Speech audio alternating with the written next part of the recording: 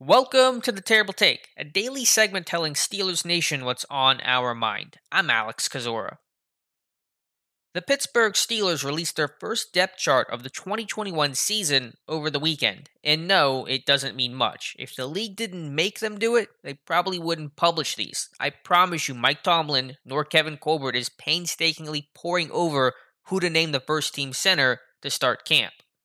But there was one part of the depth chart that was at least sort of interesting. Maybe not surprising, but interesting. Najee Harris was listed as running back one. On the surface, that seems like a no brainer. Of course he is. That's why the team invested in a running back in the first round. But it's rare for the Steelers to name a rookie atop the depth chart at the very beginning of training camp, even first round picks. Usually those guys are second string or at least given the or label, the 1A, 1B, with another veteran. Not with Harris. He was the clear cut starter. Compare that to someone like Kendrick Green, granted a day two pick, but the starter to kick off training camp and named the starter for the Hall of Fame game against the Cowboys. He wasn't listed first string, he was second string behind incumbent J.C. Hassenauer.